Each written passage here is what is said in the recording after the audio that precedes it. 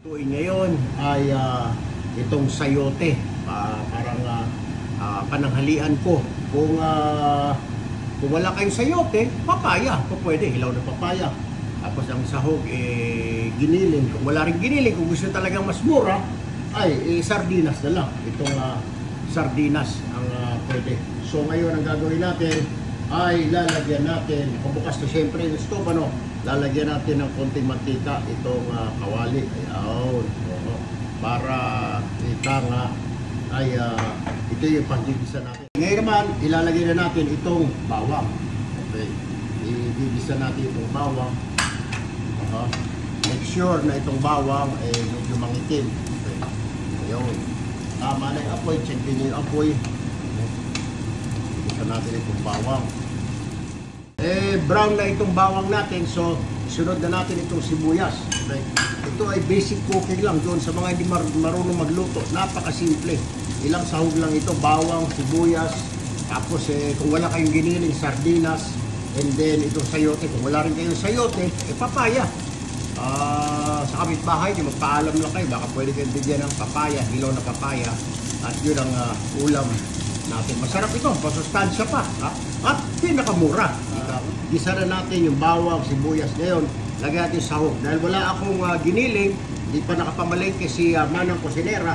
Kaya ito na muna, sardinas na muna ang ah, ihahalo ko. Igigisa ko rito para alisin yung langsa. Yan. Mhm. Yun.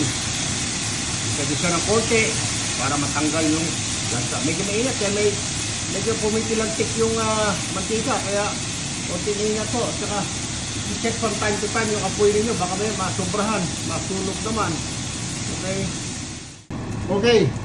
So, nandiyan na yung ating ah, ah, sardinas, bawang at saka ika nga ah, nagisa na natin. So ito naman ngayon ang gigisahin natin. Itong ah, sayote. Sarap ito. Super ito. Nung bata kami, nako, mga utol ko, paborito, paborito ito. Luto ng nanay ko. Favorite ito. Simula kay Utol Ramon, Ken Rapi, ang ibang utol ko, Tolben. Paborito itong ah, ulam na ito. Pero yung sa amin, may giniling. Pero kung wala kang giniling, para makatipid ka, sardinas. Kung wala ka naman sa iyo, dahil medyo mahal, papaya na lang. Ay, uh, gayat-gayatin.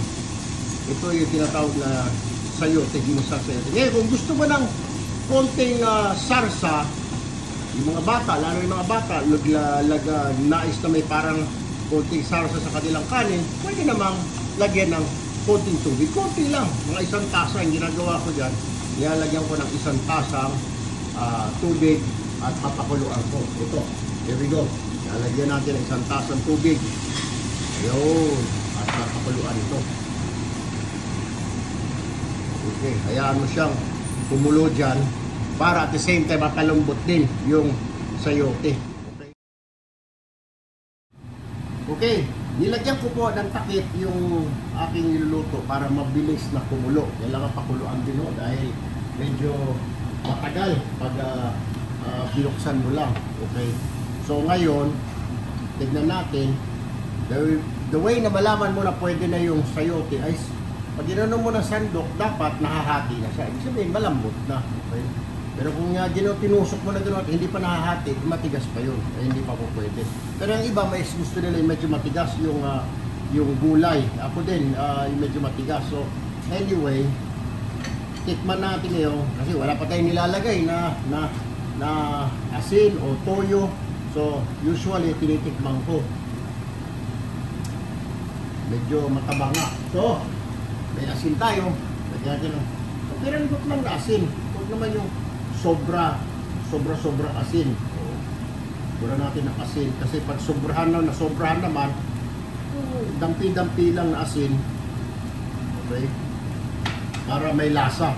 Otherwise, nako, eh, matabang. Baka sabihin ng mga kakain ng mga kaanak mo, walang sarap, sayang. Malalaman mo raw kung hindi nagustuhan ng mga tao, mag-anak mo, asawa, pamilya mo, yung iyong niluto, kung hindi na naubos yung ulam. Okay?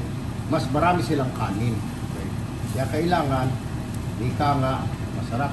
Medyo hihinaan ko na yung apoy kasi medyo ano, kailangan na yung mahina na yung apoy. Titikman ko ulit kung okay ba yung nilagay ko na asin. Suabe. Perfect.